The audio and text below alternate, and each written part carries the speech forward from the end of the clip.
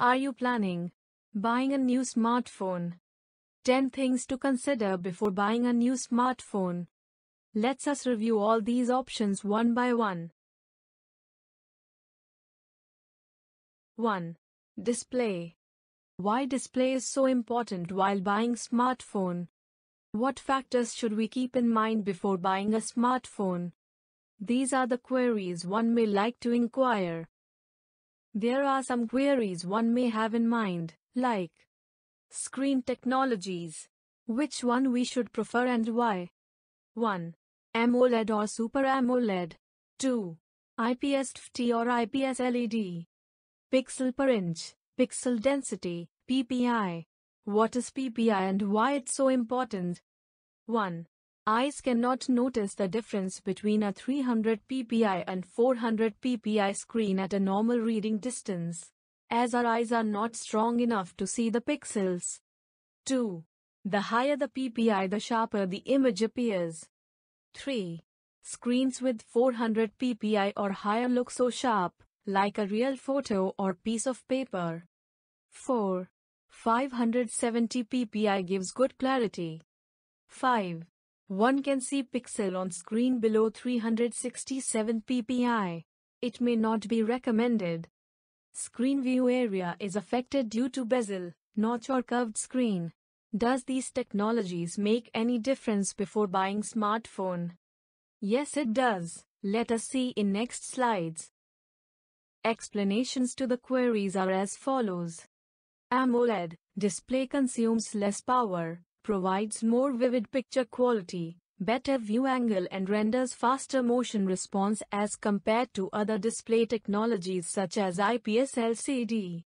Super AMOLED is even better at this with 20% brighter screen, 20% lower power consumption and 80% less sunlight reflection.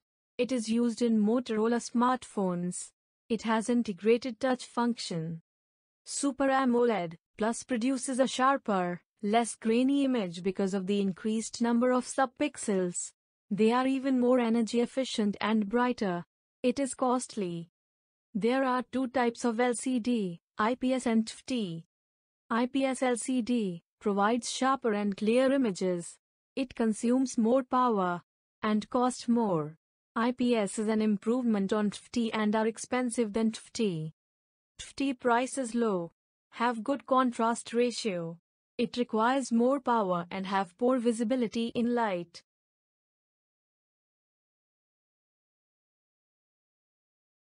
What are the factors to consider to have more screen view area?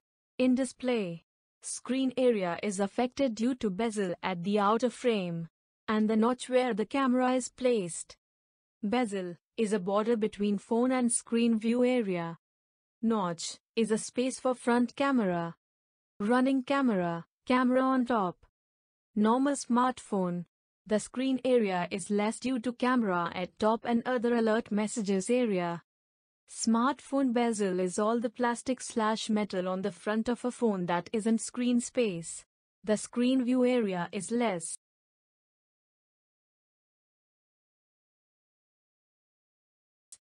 Different types of notch are display here.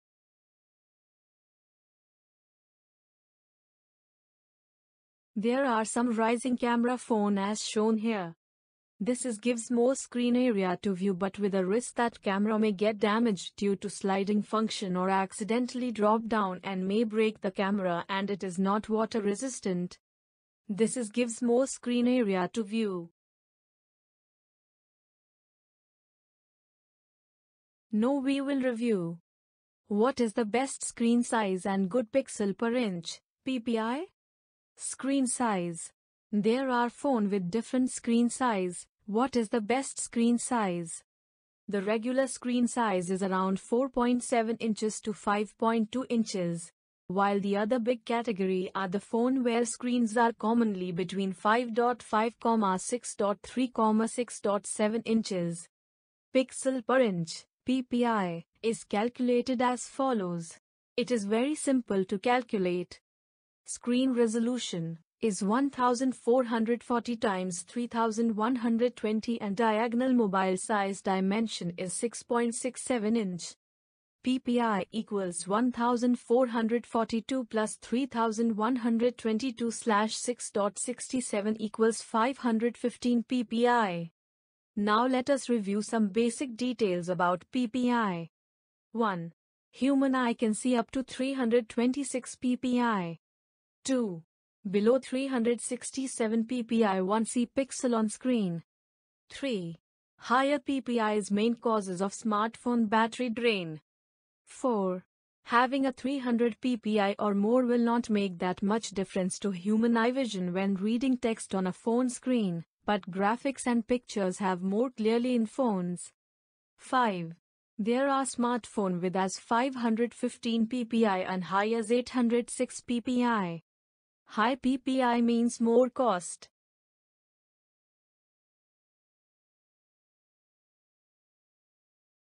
There are many screen resolutions available as of today from 960 multiply 540 to as high as 3840 multiply 2160. But, what is the most popular screen resolution? FHD is the most popular screen resolution. While higher resolution become costly and may not be the requirement. We have done a review and now let's us list down final words. Anything which is in this range is a good phone. Display type Super AMOLED is good comparing cost and power consumption battery and vivid image. Better visibility in broad daylight. Some may prefer TFT due to good contrast ratio. Size 5 or 5.5 inch or above. Resolution FHD with 1920 times 1080 or above. Above this become costly. PPI 467 or higher have a sharp image. Screen view area, notch at center or side have wider views area. Next let us review the option No 2. Build quality. The build quality of smartphone can be metal or plastic. What does the build quality mean? Type of material is used metal or plastic.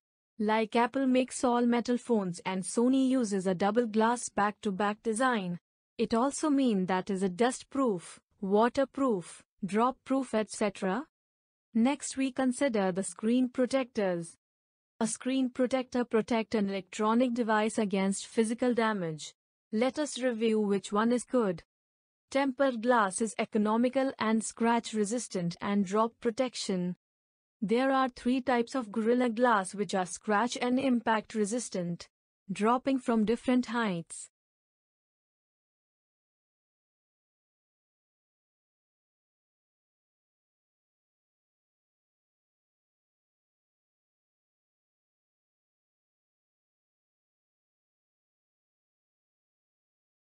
Next in option number 3.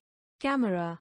These include face detection, filters, panoramic scene capturing and object identification. Different types of lenses available in smartphone. Wide, ultra-wide and telescope.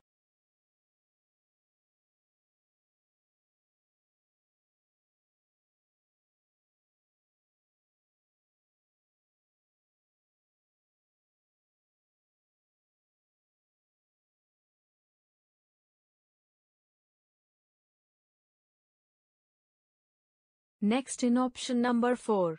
USB What are the types and speed of USB ports and chargers?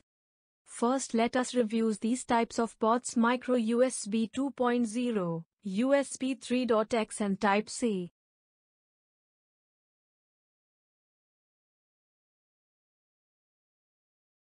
Second let us review different types of charger universal chargers and faster chargers. For fast charges either boost the amps or vary the voltage in order to increase the amount of potential energy going to a device.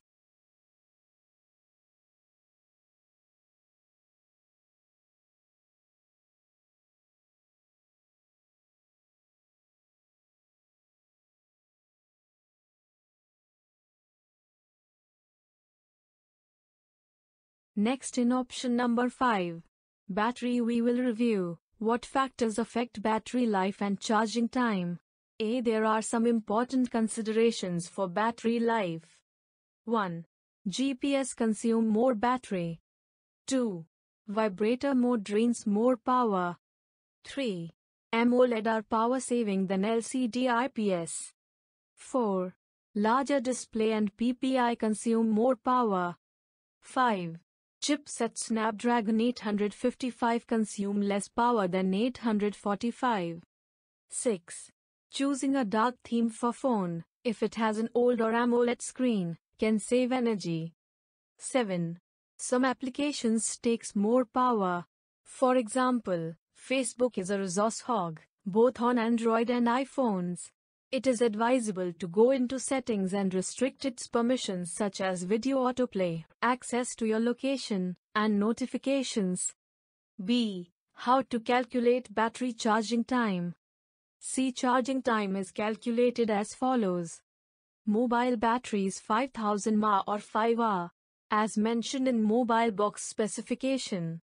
Charger adapter rating is 2 amps, as mentioned on adapter specification.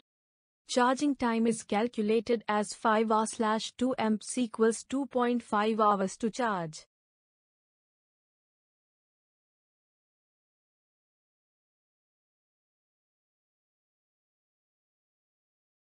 Here is a list of few smartphones available with best battery backup. This gives some idea as how screen size, mobile model and battery size affects battery backup time.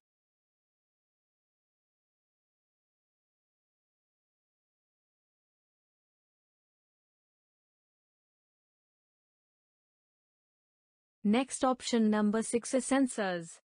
We will review different types of sensors. Here is a list of available sensors in smartphone with their description. Like proximity, accelerometer and gyroscope, biometrics, digital compass, ambient light sensor, magnetometer, GPS, fingerprint and barcode slash QR code sensor.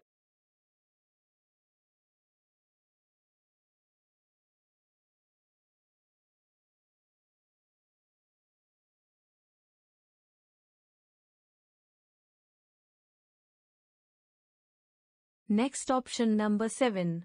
Processors which phone one should buy and at what price considering processor. Here is a list of latest processors. Among these are the best processors Snapdragon 855 from Qualcomm Exynos 9820 from Samsung, A12X Bionic from Apple and Kirin 980 from Huawei. Next option is 8. RAM and internal storage. How much should be the RAM and internal storage? How much RAM do you really use and how much is actually necessary for smooth usage? 4 GB RAM is good enough and more than 8 GB of RAM isn't necessary for a smartphone. The optimal RAM needed for Android is 4 GB for quickly opening apps. For multiple apps RAM usage won't hit much more than 2.5 to 3.5 gigabytes. Having 2 gigabytes RAM on a smartphone will slow down opening and loading apps. The performance in these apps will be smooth once everything has loaded up. While 2 gigabytes of RAM is enough for iOS to work smoothly, Android devices need more memory. Performance of 6GB smartphone is good as phones can switch between a dozen or more apps without seeing a single reload. For 8GB smartphone common apps remain in memory for long periods of time and the multitasking experience is seamless most of the time. There are devices with 10 GB and 12 GB of RAM which only increases the price and brings little or no benefit to the user.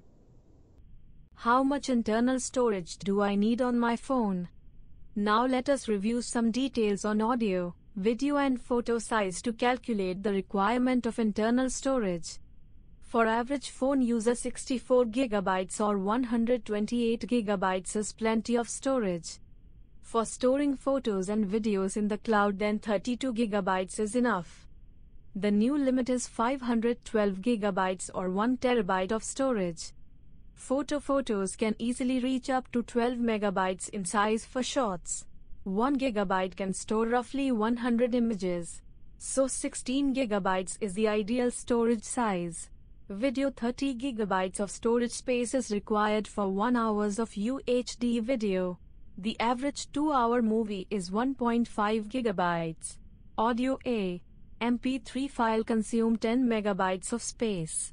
1 gigabyte holds roughly 230 songs at 128 kilobits per second. Up 16 hours of music or 20 albums.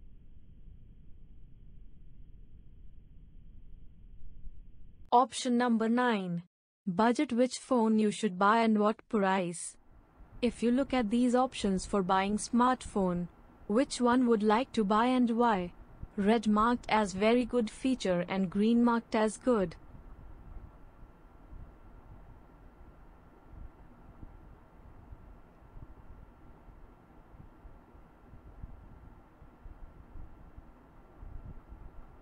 Option number 10.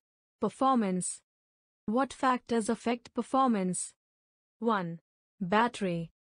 Batteries drains faster if multiple apps are opened simultaneously, heavy video streaming apps or playing games or heavy online usage. One should look at battery with 4000 mAh or 5000 mAh and Type-C charger with high wattage 15 watts slash 20 watts or more.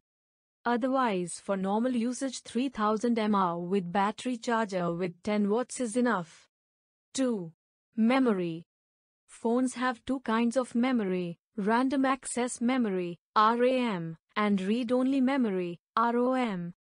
RAM along with the processor of your phone determines the speed of the phone and its ease of operation. Required RAM of 2 gigabits is okay, 4 GB is good and 6 GB or more is very smooth and above 8 GB is may not be required. 3. Camera. A camera with more megapixels doesn't result in better images. For good quality photos factors like ISO levels, aperture as well as the speed of autofocus is required. One who take lot of pictures, then go for a phone with a 12 or 16 MP camera that has an aperture of f/2.0 or lower, for good results even in low light. If your requirement is not heavy, a phone with an 8 to 12 MP camera and aperture of f/2.2 should is fine. 4. Processor. Processors have jargons like quad-core, octa-core, Snapdragon, MediaTek and so on. One should look at the processing speed that is expressed in terms of gigahertz, gigahertz. The higher the speed, the faster the processor. If requirement is for photo slash video editing or play online games and stream videos, one should opt for a faster processor. Apple A8, a dual-core processor beats the quad-core and octa-core processors.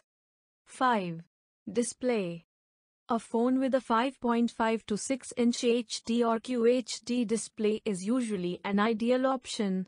This will allow you to enjoy a rich media experience while being easy to carry. 6. Benchmarking Basemark OS 2 is for measuring the overall performance of smartphones on Android, iOS and Windows Phone 8. 7. Basemark X is for evaluation and comparison of gaming and graphics performance for the same groups of mobile devices.